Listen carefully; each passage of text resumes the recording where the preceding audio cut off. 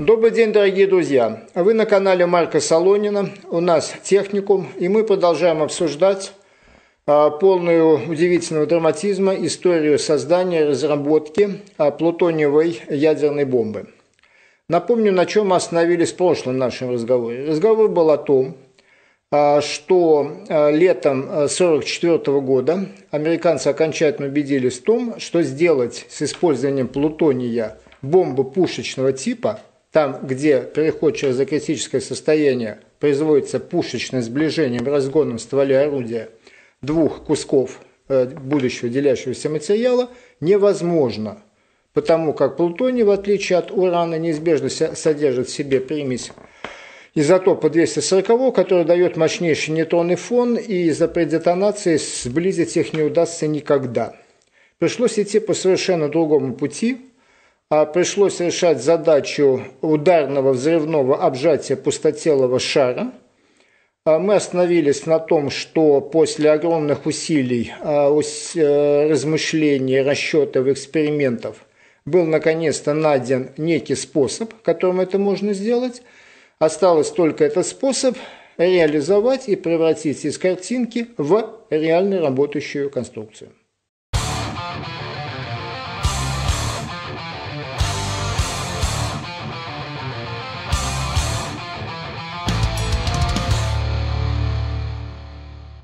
А что сделать? Но сделать надо очень простые вещи. Ну, во-первых, надо сделать эту самую медленную взрывчатку. Никому в голову не приходило делать медленные взрывчатки. Все думали только о том, как бы сделать как можно более быструю. Ну, ладно. А дальше надо перемешать. Надо всего лишь перемешать, чтобы вот в каждой ми миле точке этой линзы был точно такой же состав, как в соседней точке чтобы не было ни одного воздушного пупырышка, пузырчика, чтобы была идеальная, никогда никем не достигавшаяся и никогда никому не нужная равномерность, однородность материала. Потом эти линзы надо притереть друг к другу, чтобы не было ни малейшего зазоринки, ни малейшей щели, в которую вылетит вылетят э, раскаленные горючие газы. Вы не поверите, это делалось из, ну, из клейка ленты, да, клейка ленты заклеивали внешние щели. А надо получить, после того, как мы все это дело собрали, надо же еще это дело как-то инициировать. То есть нужен детонатор, ну простая, понятная вещь детонатор. Ну сколько люди друг друга убивают при помощи взрывчатки. Ну в каждом снаряде есть детонатор. Никому же в голову не приходило делать детонаторы с микросекундной точностью. Ну, попал снаряд во вражеский окоп. Ну, взорвется он на одну микросекунду, миллионную часть секунды раньше или на две микросекунды позже. Кого это интересовало? А здесь согласование в несколько микросекунд. Все. Все. У нас нет симметрии. Мы вместо того, чтобы обжать шарик, получим каля-маля. Что это такое? Как вообще может выглядеть детонатор с микросекундной точностью? А потом для детонатора надо еще как-то ну, привести в действие, какой-то должен быть электрозапал микросекундной, наносекундной точностью. Что это такое? Как это все может быть? А, короче говоря, вал, вал проблем а, катился и увеличивался. И, вероятно, именно эта гигантская сложность и тормозила, но когда дело дошло, еще раз повторяю, до весны 1944 года и стало понятно – что пушечная схема с плутонием не проходит, то раздался удар невидимого, фигурально говоря, колокола, и все силы, все силы, вся интеллектуальная мощь Манхэттенского проекта была брошена на то, чтобы как-то решить эту проблему. А тут на арене истории э, появляется уроженец города Киева Георгий, по-американски Джордж Кистяковский – Георгий Богданович Кистяковский, ровесник века, родился, как я уже сказал, в Киеве э, в 900 году, а, в семье очень известного ну, правоведа, профессора юриспруденции Киевского университета. Ну, правда, жил он в Киеве недолго. Богдана Кистяковского пригласили в Московский университет, мальчика увезли туда, в школу он, гимназию, конечно, начал и закончил э, в Москве. Потом 17 год, крушение империи, в Киеве начинают формироваться различные украинские государства. Богдан Кистяковский приезжает в Киев, становится одним из основателей а первой Украинской академии наук, гражданской войны, он безвременно умирает в 20 году. Георгий, молодой, 17-18-летний юноша, вступает в Белую армию, воюет, отступает до Крыма. Ну, ему посчастливилось из попасть дальше в Стамбул, дальше в Европу. В Берлине, в Германии учится, становится химиком. Его приглашают в Америку. И к 40 ну, к началу 40-х годов вероятно, Георгий Кистяковский был крупнейшим взрывотехником, химиком взрывчатых веществ в мире. А, идеи из него фонтанировали, чего только он не сделал в своей творческой жизни. В частности, Георгий Кистяковский. Для китайских партизан, а Китай воевал против Японии, Америка поддерживала, ну, поддерживала. Э, третье место по ленд-лизу после Великобритании и Советского Союза имел Китай. Америка поставляла туда самые разнообразные вооружения, а вот Георгий Кистяковский разработал съедобную взрывчатку. То есть идет себе босой китайский крестьянин, а у него на спине мешок с мукой. Останавливают его японцы. Мука. Можно попробовать. Можно хлеб спечь. В печке ему ничего не будет. Но это взрывчатка. Но это взрывчатка. Вот так вот можно сделать. А Кистяковский появился в проекте а, в конце, ну, точнее, ну, он был консультантом, потом в 1944 году его туда же пригласили официально – ну, все они там были люди с непростым характером, а с Нидермейером они характерами не сошлись. Два медведя в одной берлоге не, не помещаются. Кистяковский написал докладную записку Оппенгеймеру, или я, или он. Ну, выбор был понятен, однако, однако, подчеркиваю, Кистяковский во всех последующих интервью, которые он раздал за свою длительную жизнь, подчеркивал, что автором идеи имплозии был Нидермейер, я приехал только вот немножко довести дело, довести дело до ума. И загрохотало, и загрохотало.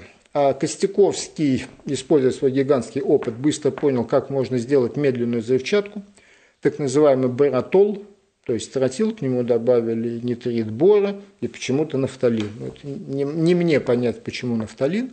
Получилась медленная взрывчатка с большой разницей в скоростях по отношению к гексогену, что и было надо. Ну, вообще, цифры, которые я встречал в литературе, невероятные – я многократно встречал цифры по то, что было взорвано 20 тысяч этих самых линз. То есть, ну, я не понимаю, может быть, опечатка, но я это видел в статье, подписанной двумя авторами из НИИТЭХа, ну, то есть бывшего Азама-16. Грохотало безостановочно, канонада, как на Курской битве. Ничего не получается. Ничего не получается. Взрыв, дым рассеялся, и вместо круглого аккуратного шарика наделался какой-то инертный материал, мы видим что-то размазанное, скрученное, перекрученное. Ничего не помогает. Нету нормальных детонаторов. Тут на арене истории появляется вот этот вот молодой и красивый Луис Вальтер Альварес. Луис Вальтер Альварес, американский физик-экспериментатор – а, когда ему вручали премию имени Энрике Ферми, его назвали э, лучшим физиком-экспериментатором 20 века. Что он успел сделать своим 33 годам, это вообще уму непостижимо. К 33 годам молодой парнишка успел получить первый раз, впервые в мире получить тритий. Успел измерить магнитный момент нейтрона – а затем он работал в Массачусетском э, институте, технологическом институте, ну, крупнейший технический вуз Соединенных Штатов, где работал над радиолокацией, где был автором первых американских радиолокаторов, где разработал совершенно потрясающие вещи. Ну вот, например, вот облучает американский локатор с американского самолета немецкую подводную лодку. И видят немцы по своему прибору, что сигнал слабеет, слабеет, слабеет, ну, значит, вражеский самолет улетает, а он подлетает. Вот такая была сделана хитрая модуляция, что после того, как локатор начал, что поймал цель, идет уже отраженный сигнал, мощность излучения непрерывно снижалась, имитируя ситуацию отхода самолета разведчика от подводной лодки. Это все мальчишка сделал 33 года. а после чего он еще успел поработать в команде Энрико Ферми, где делался первый, первый в мире урановый реактор, ядерный реактор. Но после этого с таким бэкграундом в 33 года его пригласили в Массачусетс, этот самый проект, где он за несколько месяцев сделал а, детонаторы, которые срабатывали с разбросом в пол микросекунды была предложена принципиально новая, новая э, схема детонатора. Но все до этого электродетонаторы это что такое? Это лампочка. Это лампочка, которая светит под потолком, только без э, стекла и без вакуума. Спиралька, спиралька нагревается и поджигает ну, какой-то дальше химический состав. Разумеется, никаких микросекунд на этом деле быть не может. Поэтому Альварес понял, что должен быть совершенно другой способ инициации, взрывной – ну, практически та же самая, ну не спиралька, а проволочка, только эта проволочка от очень мощного импульса тока, сотни килоампер, взрывается, и ударная волна вот э, стремительно расширяющегося продукта в испарившейся проволочке бьет по азиду свинца или какому-то легко детонирующему химическому веществу. Это дело было сделано, это дело было испытано в бесконечном количестве штук. Э, опять же, понимаете, что такое детонатор – Детонатор взрывается один раз. Детонатор нельзя проверить перед применением. Как я говорил в прошлой передаче, вы покупаете туфли, вы их меряете. Вы покупаете лампочку, это копеечную лампочку, она стоит дешевле, чем билетик в автобусе или в метро, однако же продавец вам эту лампочку включает. А вот детонатор, от которого зависит, сработает или не сработает атомное оружие, проверить перед применением нельзя. Единственный способ быть ну, уверенным или хоть как-то надеяться на то, что оно сработает, это довести технологию, автоматизированную технологию изготовления до такого совершенства, чтобы взорвать их десятками тысяч и убедиться, что вот все они, вот этих десятках тысяч, срабатывают в полмикросекунды. А, короче говоря, огромным трудом, огромными усилиями, огромного коллектива сделали детонаторы. Замечательно, как эти детонаторы привести в действие – вот откуда взять этот импульс килоамперный? Нужен конденсатор размером с ведро. А как этот конденсатор разрядить одновременно на несколько десятков детонаторов? А нужно некое устройство, разрядник весом оно вышло 180 килограмм. И все это набегает, набегает, набегает. И все это должно сработать. И если хотя бы один детонатор из десятка не сработает, у нас не будет никакой симметрии – видите на картинке, это макет, он сделан уже э, в нас, у нас э, в РЗМАСе 16 уже сделан вот такой вот макет этого устройства. Видите, бесконечное количество проводов. На каждый детонатор по два электровзрывателя, каждому из них провод. А что такие длинные провода мотаются? А потому что даже длина провода в этом случае уже играет роль, если нам надо ловить микросекунды – Поэтому провода все должны быть одинаковой длины. Где-то они в натяжку, где-то они мотаются. И вот эти тысячи взрывов, и на календаре у нас уже осень 44 года, грохот, как на Курской битве, ничего не получается. Обеспечить симметричное сжатие не получается никак. И вот в августе 44 года в этот огромный коллектив уже приехали англичане, упомянутые нами ранее Пейлс, автор знаменитого меморандума Пейлса, который впервые описали возможность создания атомной бомбы. Там уже работали десятки людей, там уже от нобелевских лауреатов нельзя было протолкнуться. Вот в этот вот коллектив в августе 1944 года приходит парнишка, 28 лет. Зовут его Роберт Кристи. А, пару слов о удивительной биографии этого молодого человека. Ну, папу его звали Моисей Коэн.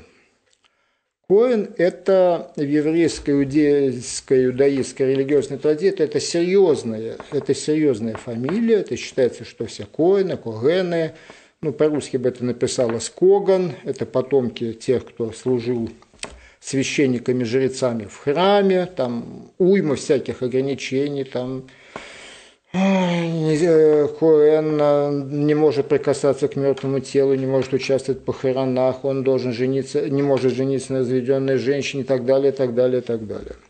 Короче говоря, уйма ограничений, правда, никаких привилегий.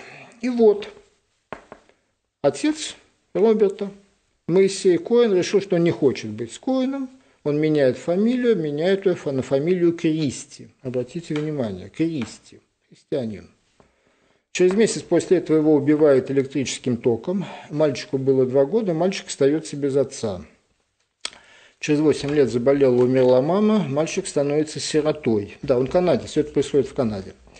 Ну, умереть с голоду не дали, конечно, родственники его забрали, выучился он на медные деньги, очень интересовался наукой, физикой, приехал учиться в Америку, попал к Оппенгеймеру. Оппенгеймер оценил, с кем он имеет дело. Однако после двух семестров молодой Кристи э, пришел, сказал, кушать хочется, но я не могу, у меня нет денег, я не могу учиться, мне надо работать, зарабатывать на еду. Оппенгеймер ему организовал э, место младшего научного сотрудника в Иллинойском университете. Мальчишки уже тогда платили 200 долларов в месяц. Ну, это на нынешний день где-то 6-7 тысяч долларов в месяц. Потом его, естественно, забрал к себе в ферме в группу, которая делала реактор. И, наконец, в августе 1944 года молодой человек попадает в Лос-Аламос – и вот в эту самую гущу ученых э, грохот стоит, взрывы грохочут, электронно-вычислительные машины скрежещут шестеренками, лучший математик мира столетия Джон фон Нейман пытается обсчитать, что там происходит вот в этих вот взрывных полях, и ничего у них не получается. Вот, молодой человек предлагает, вносит идею, после которой на следующие, там, сколько, 70 лет вперед, эта конструкция теперь так и называется – так и называется. Ядро Кристи, конфигурация Кристи, дизайн Кристи и так далее.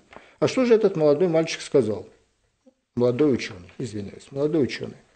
Он сказал очень простую вещь, полезную каждому из нас, ее надо как-то просто принять на вооружение. Если проблема не решается, значит, надо начать решать другую проблему. Сказал молодой человек. Старшие товарищи прислушались, а наверное, в этом что-то есть. Но не только это. Кристи предложил решение, предложил ту другую проблему, которую надо решать. Если обеспечить симметричное обжатие пустотелого тонкостенного шара не удается, то надо отложить эту задачу в долгий ящик. В те сроки, которые нам ставит война, мы ее не решим, и надо решать другую задачу. Давайте сожмем сплошной, сплошной шар металла, сплошной шар плутония. Сожмем. Ребята, это совсем не то, что деформируем. Это другая задача. Это не та задача, когда мы берем вот круглый комок теста, кидаем его и скалкой тук-тук-тук раскатали, он превратился в блинчик. Нам не понравилось, мы его опять смяли. Мы деформируем его по-всякому, но мы не меняем объем. Кристи сказал, давайте сожмем металл. Давайте возьмем пол-литра металла, но пол-литра плутония, это как раз есть то, что нужно было. Эти самые там 8-9 килограмм предполагаемой критической массы. Вот давайте возьмем пол-литра металла и превратим их в четвертинку, условно, конечно говоря, металла. То есть вдавим атомы в атомы, сломаем, сломаем кристаллическую решетку, сблизим атомы кристаллической решетки. Ну, строго говоря, получим другое вещество. Ну, мы меняем плотность вещества, мы вмешиваемся в природу. Такого никогда люди не делали. Даже вода, там, масло в обычных технических инженерных задачах считается несжимаемым материалом. Вся гидротехника, начиная от водопровода, кончая гидроцилиндрами, вся основана на предположении, что объемы не меняются. А здесь была поставлена задача сжать металл. Ну, благо, вокруг были э, квалифицированные люди, квалифицированные люди посчитали, получили, ну, надо всего-то 1 миллион атмосфер. 1 миллион атмосфер надо создать в каждой точке поверхности сплошного металлического шара, чтобы его диаметр осел примерно на 20%. Этого уже по расчетам, ну там же радиусы входят в кубе, достаточно, чтобы повысить плотность материала до нужной величины, уменьшить площадь поверхности, через которую улетают нейтроны, то есть перевести докритический шарик в закритический шарик. Ну что такое 1 миллион атмосфер? Старый добрый тротил создает 189 тысяч атмосфер во фронте ударной волны, а гексоген, октоген почти 400, нам надо миллион. Но до миллиона не так и далеко, потому что у нас же сходящаяся волна, внутренний диаметр вот этой вот сферы взрывчатки меньше, чем внешний, за счет этого происходит кумуляция. То есть получить, ну, в общем-то, получить миллион можно, в общем и целом, но задача Задача меняется. Нам уже не нужна такая высочайшая степень асимметрии, обжатия, симметрии взрыва. В одном из англоязычных источников я видел цифру 5%. Но 5% тоже достаточно большой разброс, допустимый, но зато нужно чудовищное давление. И самое главное, мы не понимаем, а что там будет происходить. Но не делали такие, такого люди, никогда не сжимали металлы. Металлы деформировали, мяли, гнули, ковали, штамповали, прессовали, но никогда не пытались уменьшить объем. Металлов, вдавив атомы друг в друга в кристаллической решетке. Что там будет происходить внутри?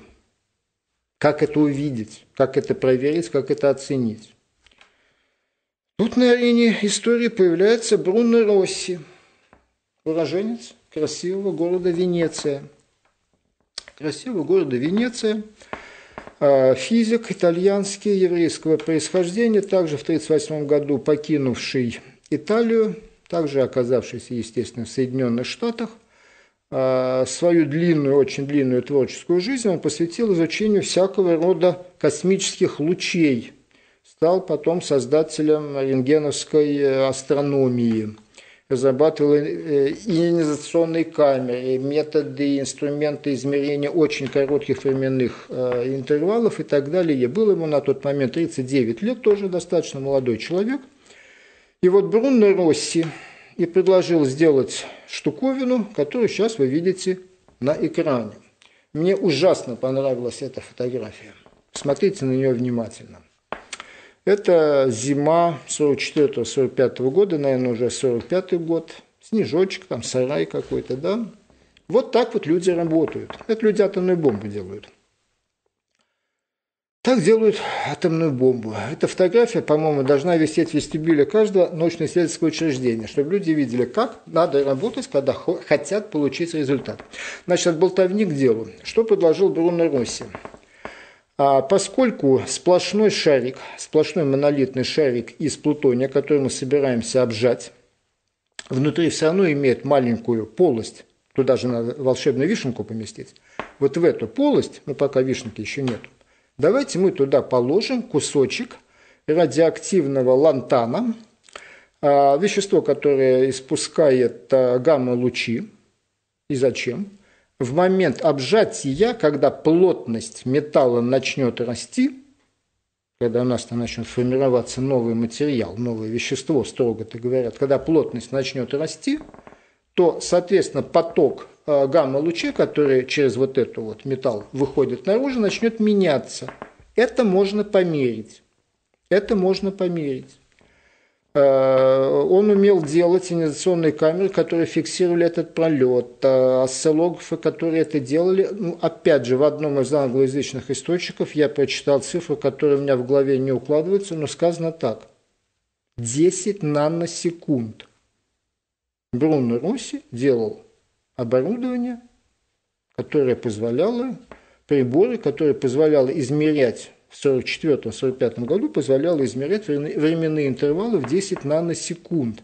Там дело дошло до того, что провода, которые соединяли эти осциллографы с этими изоляционными камерами, были проводами переменного сечения. То есть даже скорость движения электронов по проводу уже имела значение. И вот это все люди придумали, это люди сделали, это люди сделали за несколько месяцев и начали измерять, измерять, мерить время, считать в десятках, там, сотнях наносекунд, что происходит внутри обжимаемого страшным давлением в миллион атмосфер куска металлического плутония. Представьте себе. И многое стало видно, и как пишут умные люди, это уже далеко за пределами моей квалификации, что именно вот этот вот прибор Бруно Росси, вот эта вот возможность наблюдать, наблюдать деформацию скоростную деформацию уплотнения материала позволило наконец-то отработать и конструкцию фокусирующих линз, и понять, какие нужны допуски по времени срабатывания детонаторов, все это дело отработать. А у нас уже снег растаял, у нас уже апрель 45 -го года, и наконец-то, и наконец-то только в апреле 45 -го года Кистяковский и его команда, которая все это дело взрывала, смогла доложить Оппенгеймеру, что мы готовы. Мы готовы. У нас после взрыва на Земле остается кругленький, гладенький, сферический образец. Везите плутониевый шар, начнем взрывать. А где же вторая добрая фея? И где обещанная мною в начале нашего рассказа дверь, которая висит на одном гвозде? Вот она перед вами на экране. Вот это добрая фея. Сирил Смит. Английский металлург. Родился в городе Бирмингеме. Очень любил физику. Хотел поступить в университет, но математики не набрал баллов. Сказали, парень, физик с тебя не получится, иди-ка ты в металлурги. Выучился он инженера-металлурга, работал э, в Англии, э, переехал в Соединенные Штаты – а, там проработал больше 10 лет в фирме, которая производила, в компании огромной, которая производила самые разнообразные медные сплавы. Ну, медные сплавы – это латунь, бронза – это, ну, пожалуй, самые, то, с чего человечество начинало свой век металлов. И был на тот момент очень большим специалистом в этом деле. И вот когда уже дело подошло до того, что ну, надо уже, вот уже плутоний уже, э, комплекс работает, оружейный плутоний уже идет сотнями грамм, уже сотнями грамм, ну все, надо делать этот шарик в конце-то концов. И Сирил Смит, как металлург, был приглашен для того, чтобы отработать ну, технологию работы изготовления нового металла. Никто с ним никогда дела не имел. И вот начал этот самый почтенный джентльмен Сирил Смит работать с металлическим плутонием и увидел нечто совершенно невероятное. Сейчас оно будет перед вами на экране. Вы опять же не пугайтесь. Тут все просто. Тут все очень просто и понятно. Объясняю. А, плутоний оказался материалом, металлом с достаточно да, низкой температурой плавления. То, что видите, там везде градусы Кельвина. То есть надо отнимать минус 273, чтобы получить привычные нам э, градусы Цельсия. Он там где-то меньше, сейчас точно не помню, чуть менее 700 градусов Цельсия уже плавится, то есть превращается в жидкость. Жидкость. И вот представьте себе, что этот жидкий, расплавившийся плутоний мы залили в чашку какую-то, там емкость, а, укутали ее, чтобы она медленно остывала, и вот этот вот расплавленный, превращенный в жидкое состояние плутоний у нас начинает медленно, тихонечко остывать. А мы всякими хитрыми приборами смотрим, что же там внутри него происходит. Вот этот самый график. Смотреть надо на него, представьте себе, справа налево, от высоких температур к низким температурам, чтобы так было понятно. Вот он от температуры своего плавления, там чуть меньше 700 градусов Цельсия, остывает, остывает до обычной комнатной температуры плюс 20 градусов. И что с ним происходит? И он, как видите, скачками в довольно большом диапазоне меняет свою плотность. А у него меняется кристаллическая решетка, это называется аллотропный переход, аллотропное изменение. Это не новость, это и в железе такое есть. Э, всякий инженер, который хоть немножко учился в институте, должен помнить слова аустенит, перлит, феррит. А, отличие плутония опять в том, что у него аж их 6 аллотропных состояний, 6 разных видов кристаллической решетки, но самое главное – огромное изменение плотности. График это сделал очень красиво и правильно. Это не плотность по вертикальной шкале, не плотность, а величина э, обратная, обратная плотности, назовем ее пухлость или пушистость. Ну, понимаете, вот бывает хорошая испеченная булочка, вся такая пушистая, внутри нее много-много воздушных пузырьков, ее можно руками сминать. Бывает плохой испорченный хлеб, который просто как кусок э, резины какой-то мокрый лежит. А, это плотный, значит, будем называть хлеб, и бывает пух-пух, пушистый, пушистый хлеб. Так вот, а, когда металл, плутоний, начинает медленно остывать, у него шесть раз меняется кристаллическая решетка, то есть расположение атомов в нем – недолго думаем, просто дали название по буквам греческого алфавита, и есть в нем дельта-фаза. Она там, видите, в диапазоне примерно 400 градусов Цельсия начинается. Вот в этой дельта-фазе плутоний очень пушистый. Видите, это самый верх графика. Его плотность падает там меньше 15. Меньше 15 килограмм на ну, сантиметров куби, э, килограмм на литр, естественно. А, вот. а далее, остывая, остывая и не, несколько раз ступенчато прыжками меняя свою кристаллическую природу, он превращается в альфа-фазу, которая в обычной комнатной температуре гораздо плотнее, там 19,8 кг на литр. То есть разница плотности огромная, огромная, почти 25%. То есть оказалось весной 45 года – когда уже взорвали 20 тысяч линз, пусть даже 2 тысячи линз, что этот фантастический материал обладает свойством самоуплотняться, скачком менять свою плотность при переходах, аллотропных переходах. Осталось только как-то взять и зафиксировать пухлую, пушистую, рыхлую с низкой плотностью дельта-фазу при комнатной температуре, чтобы она осталась. И вот Сирил Смит взял, подумал и сказал 3% галлия. Меня это потрясает. Я не понимаю. Я не понимаю, кто ему это сказал. Ну почему галлия? Ну почему галлия? Ну почему 3%? Ну, много есть элементов в таблице Менделеева. Почему галлия? Опыт, ну опыта, ни у кого не было опыта работы с плутонием, опыта работы с галлием, но никто не делал медный сплав с галлием. Откуда ему? Кто ему сказал? Ну, Сирил Смит сказал, надо добавить 3% галлия – и оно зафиксировалось. То есть в расплавленный плутоний добавляем 3% галлия, и по мере, и когда оно начнет остывать, дельта-фаза останется, зафиксируется, и в этой дельта-фазе, пухлой, с низкой плотностью, он остынет. И перед нами, там на столе, будет лежать шарик или не шарик, кусок плутония, в легкой с низкой плотностью дельта-фазе. Но в качестве дополнительного бонуса еще выяснилось, что дельта-фаза плутония прекрасно обрабатывается давлением, можно ковать, прессовать, стучать, что хочешь делать, примерно как алюминий. Прекрасный конструкционный материал, к тому же. Ну вот перед нами легкий, пушистый, пухлый, с низкой плотностью плутоний. А дальше что? А дальше по нему надо ударить. Ну, я же сказал, надо просто ударить ногой в дверь надо ударить не очень сильно, одна тысяча атмосфер. Это действительно не сильно. Еще раз повторяю, самый обычный тротил во фронте ударной волны, детонационной волны, дает 189 атмосфер. Это очень не сильно ударить. Легеньким взрывчиком ударить по куску плутония в дельта-фазе, и он перескочит в альфа-фазу, то есть самоуплотнится почти на 25%. Вот вам и переход за критическое состояние просто не очень сильным легеньким взрывом. Ну, когда Сирил Смит доказал, доложил это руководству, что сказало руководство? Ну, понятно, что сказало руководство весной 45 года.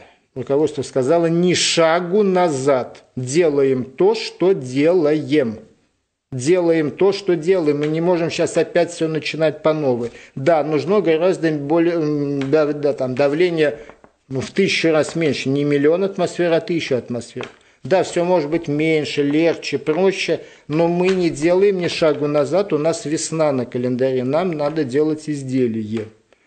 В результате сделали то, что сделали. Вот вы видите перед собой это страшное, это страшное сооружение с его реальными размерами, с его реальным весом. То есть для того, чтобы сжать 9 килограмм плутония – маленький шарик, извиняюсь, 6, 6 килограмм, 6 килограмм 150 грамм плутония, шарик размером 9,2 сантиметра. Мы расходуем 2,5 тонны взрывчатки. Мы получаем гигантский шар внешним диаметром 138 сантиметров. И вот все это чудовище для того, чтобы создать давление порядка миллиона атмосфер, обжимающее плутониевый шарик, которому на самом деле вполне бы хватило удара в одну тысячу атмосфер. Однако сделали то, что сделали. А, то, что удивительное свойство дельта-фазы плутония самоуплотняться, это, так сказать, пошло дополнительным бонусом. В результате в июне месяце видите вы перед собой вот это вот изделие, уже готовое к, э, э, испытаниям.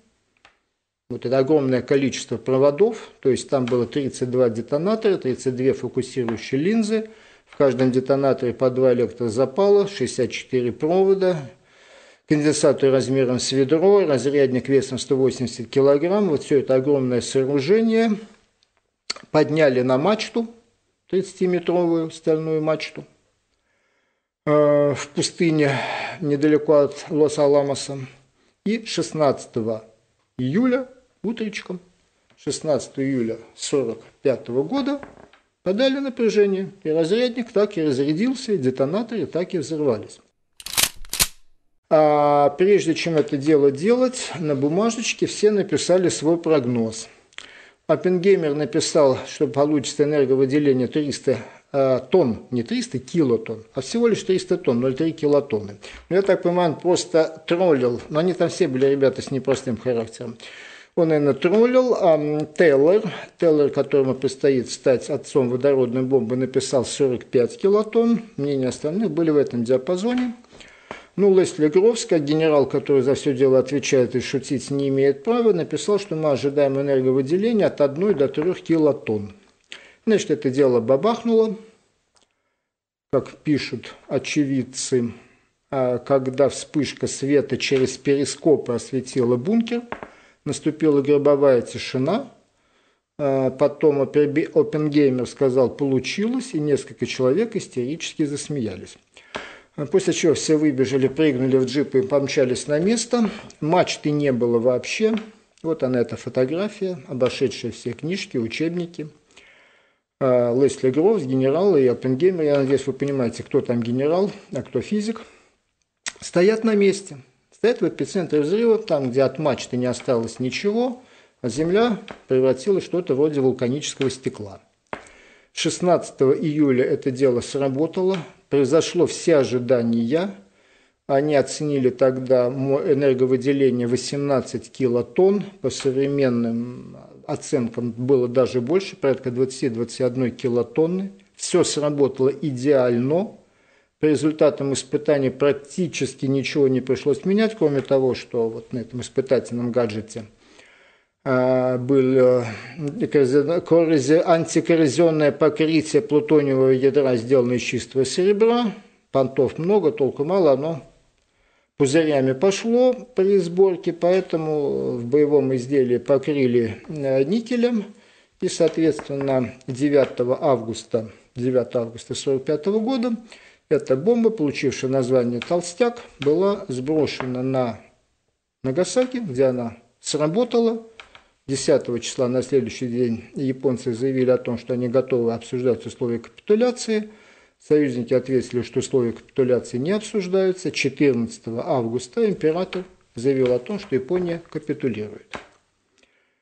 Вот такая вот история. Ну, правильнее сказать, такие эпизоды. Ну, понятно, что даже Беглый рассказ обо всей истории создания имплазивного оружия занял бы гораздо больше времени. Все, что я мог вам рассказать за это время, это отдельные куски, отдельные эпизоды.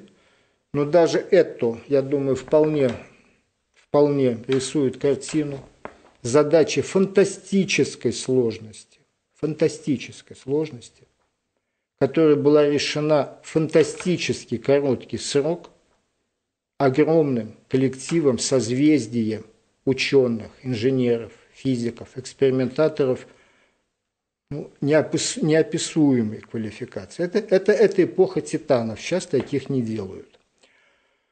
Вот, собственно, все, что можно было сказать по поводу плутониевой имплазивной бомбы.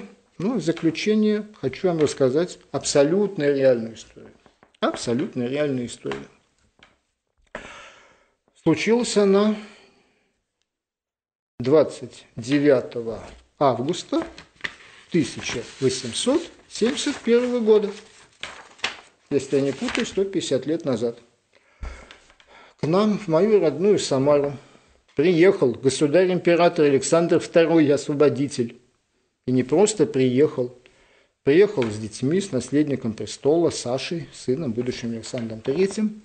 Приехал он для того, чтобы у нас в Самаре заложить первый кирпич, фундамент строительства огромного храма. И так и да, был построен в Самаре огромный кафедральный собор, который считается третьим после Исаакия по размерам православным храмом в России, ну, на территории Российской империи.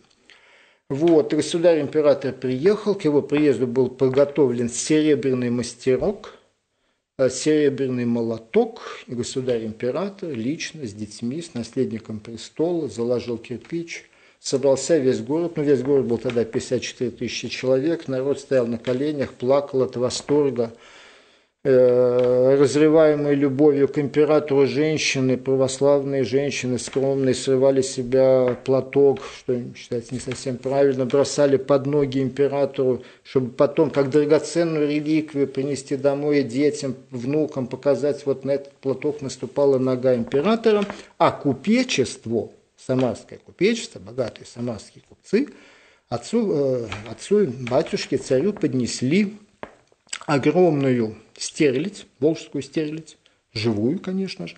Каковая стерлядь плавала и била хвостом в огромном чане литом из серебра, да еще и с позолотой. Вот так они это дело, обливаясь слезами от умиления, поднесли батюшке царю. Батюшка царь был доволен и раздал тысячу рублей медными пятаками бедным.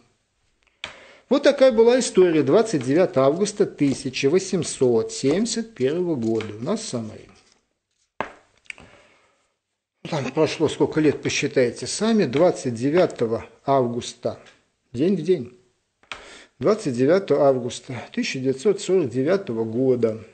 На Семипалатинском полигоне взорвалась первая советская, на, на той же самой вышке, ну, не той же, но похожей вышке, взорвалась так называемая первая советская атомная бомба. Это тот самый американский гаджет, который полезные американские идиоты преподнесли даже не на блюдечке с голубой каемочкой, на блюдечке такой объем, такой гигантский объем технических знаний, полученный таким гигантским трудом такого коллектива выдающихся умов, на блюдечке не помещался. Я думаю, это была огромная, вот, понимаете, позолоченная такая вот лохань, в которой батюшке Сталину поднесли все эти, все эти знания, всю эту колоссальную информацию, весь этот результат гигантского труда поднесли. И товарищ Сталин 29 августа 1949 года, как говорят во всех книжках, сломал монополию Соединенных Штатов на атомное оружие. Как это было, что это было, что там сломалось, чего там не сломалось, мы обсудим в следующей передаче, в следующем занятии нашего техникума. А сегодня большое вам спасибо за внимание, всего доброго, берегите себя.